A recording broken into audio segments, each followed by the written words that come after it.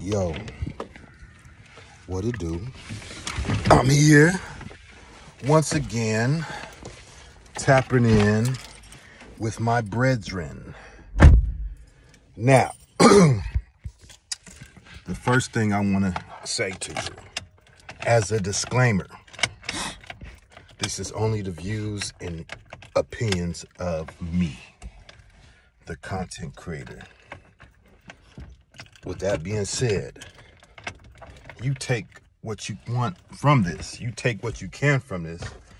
And if you can't take nothing from it, then, you know, get rid of it, what you cannot take. But that being stated, sorry about that, having a little little issues with this this car. That being said, you know, we in the neighborhood in front of the house. You know. In front of the house. The truck is back there.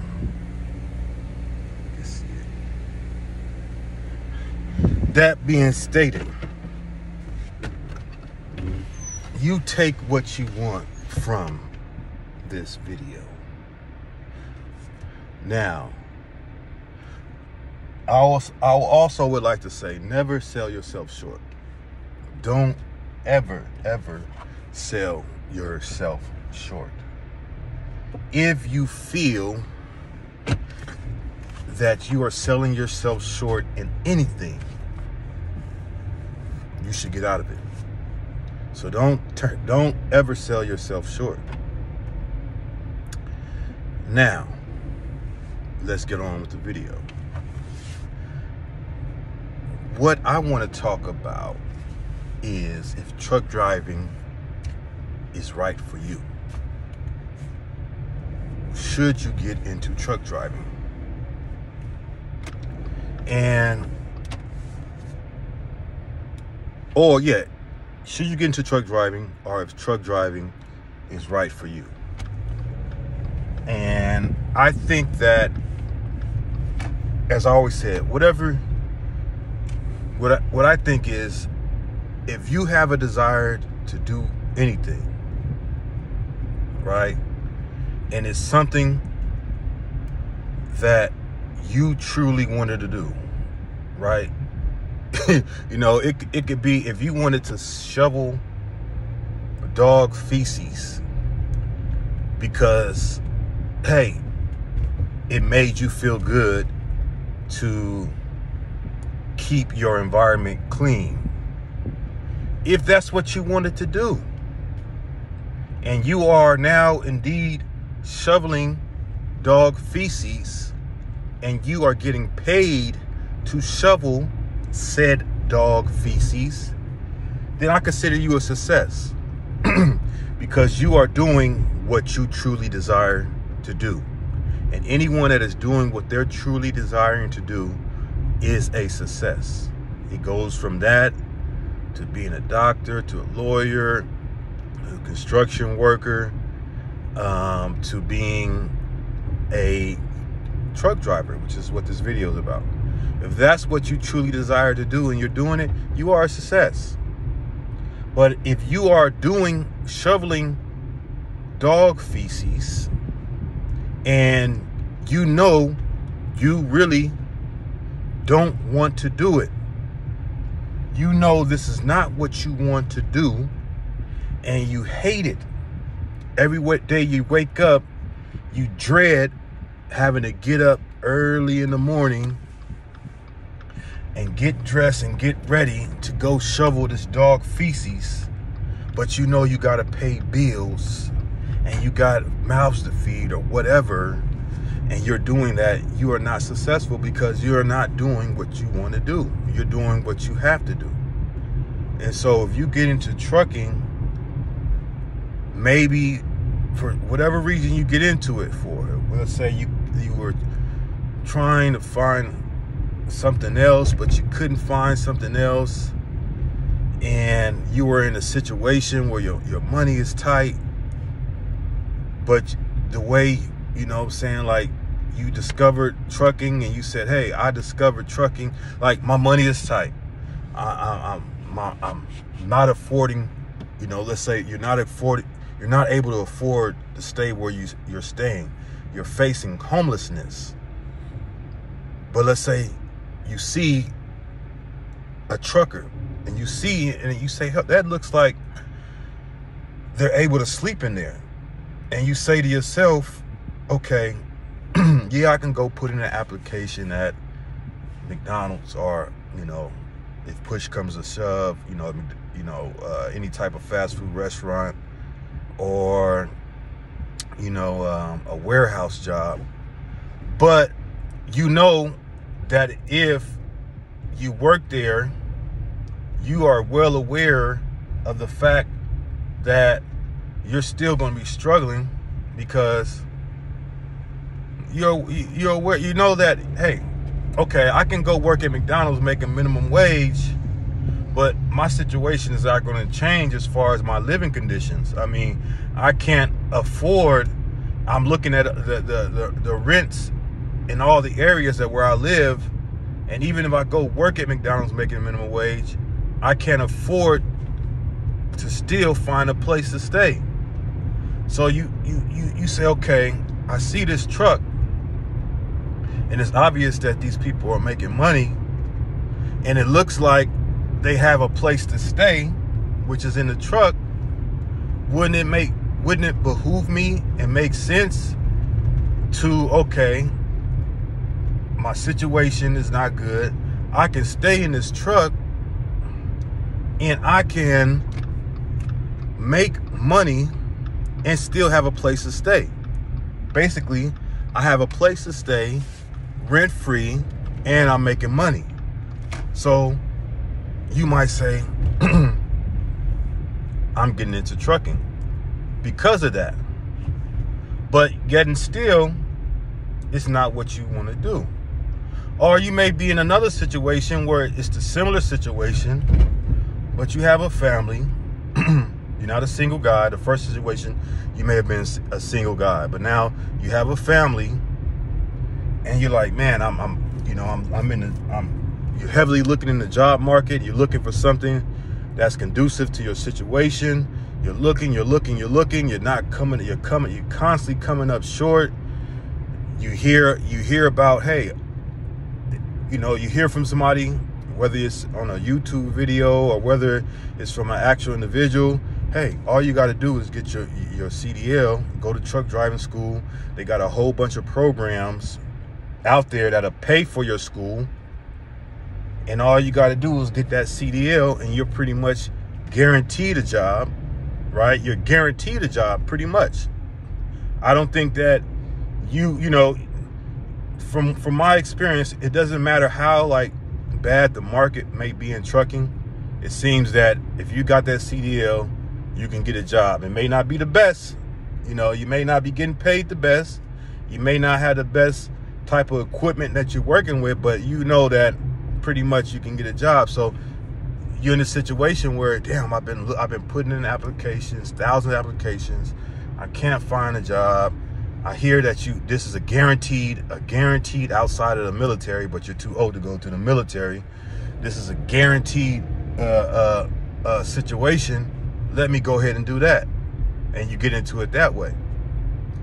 Both of those situations you're doing it out of desperation. I would say you're not you're doing it out of economic desperation. But the type the video is basically about because I'm dragging this on is outside of those situations is trucking right for you? And I think that especially OTR trucking over the road trucking. If you are a young male, preferably single, no children, and you don't really have a social life. Let's say you really don't have a lot of things going on socially, maybe a girlfriend or women that you're dealing with or you know you're heavily involved with your family or your community or you got various hobbies that you're you're doing and you're, you're volunteering to this and that.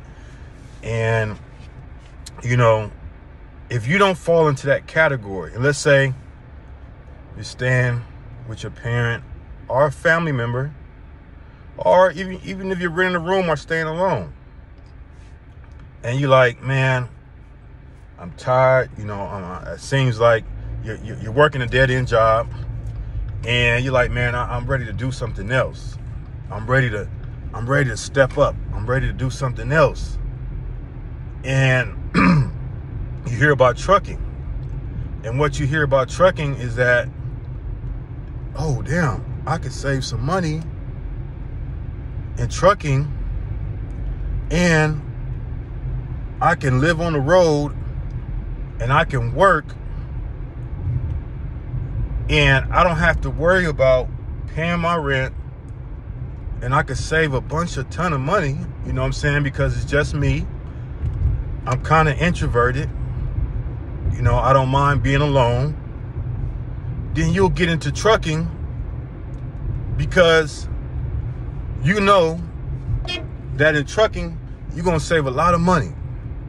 Had to huh, see somebody new you know, you get into trucking, you're gonna save a lot of money, right? Let's say you you'll do it for a year, two years.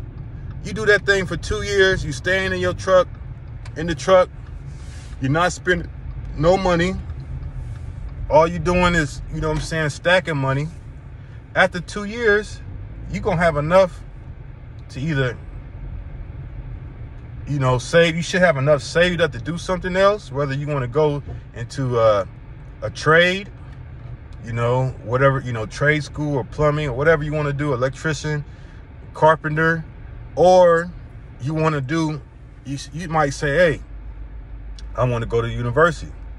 Now, make long as you're not going to, to go, you know, university for no BS stuff like underwater underwater basket weaving, you know what I'm saying, but something that you really need to go to the university for, then you could do that.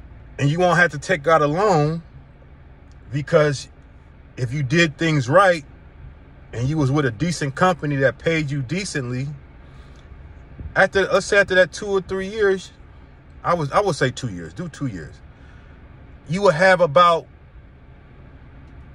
60000 to 80k saved up. You should. But to say at a minimum 60k and with 60k that pays most tuitions at most universities you you know you'll you don't have to go to a, a four year right? You'll go to, you could if you want to, but the, the cheaper route is, is do your two years at a, at a, community college, which is usually going to be free because you're going to be getting grants.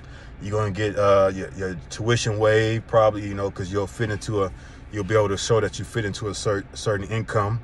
And you'll get two years of, of basically free paid education and then you'll transfer it and, and, and you'll still have your money saved up because you've been using Pell Grant money and all these grants and, and scholarships, and you'll be able to go and finish your two years at the at the university, and you won't have to take out a loan. In that instance, trucking is for you. If you trucking is not for you, and this trucking is not for you, and but there are guys that do this, and I think that it, it really it's really detrimental to them. It's very detrimental because the things that they you know experience. But trucking is not for you if you're married and if you have small children. If you're married and you have small children, I think you are sacrificing for money uh, a lot of precious moments and precious times that cannot that money can never replace. You can't get time back. You can always get money back, right? You can lose a hundred dollars today, you can get it tomorrow, but you can't. You lose that day that you lost uh, yesterday is gone forever. That day is never coming back. And all those days that you're on the road, away, away, missing important things, you know, not not being able to walk your children home from school or walk your children to school or or pick them up or you know take your wife to dinner and stuff like this and you know what I'm saying she's in the bed and she's lonely and she need you know comfort and you're you're on the road you know a phone is not enough I, I know we got all this technology and we can zoom and we can you know uh, FaceTime and all this stuff, but it doesn't replace the, the physical. It doesn't replace the physical. And you you're on that road, you're missing out on these valuable moments, and you might be pay, putting a strain in your relationship. They say two of the two most industries where a wife or spouse is known to step out is in the military and in trucking. And it's it's a, it's a reason why when you're when you're in the military you're deployed you're out you're you're over this in this case you're oftentimes oh hundreds of thousands, thousands of miles away overseas in trucking you may just be a thousand miles away but you're away and what happens especially with women in those in those situations is uh, women are emotional they get lonely and next thing you know the plumber the gardener the mailman is keeping your wife company. And I think in those situations, you just should find something else. You know, I know even if, even if you like trucking, if you can't find something local, if you can't find something local, then you shouldn't do it. Local at the most, dedicated or regional. You know, something that may you may be gone for a few days, but you're back, you know. And but nothing that has you gone for month, you know, three plus weeks at a time. Nah. With only two, one or two days home. Nah, nah, nah. That's that's not. I don't suggest that you do that. You know, other guys, other channels might suggest you do it, but I think they're doing it for views and and and and, and for money. But I don't suggest that. That's not wise, man. If you value your your children, you value your relationship, don't do it. Don't do it because you are going to sacrifice. And you you may not it may not be in the first month, but at, after you know a year or so, maybe less than that, you're gonna you're to see it, man. You're to see it. So I would suggest for those guys get into something else, you know what I'm saying? Find something either you can't do local, find another career. And that's all I got to say. Now, I'll go, I'll expand another video more into that situation that happens.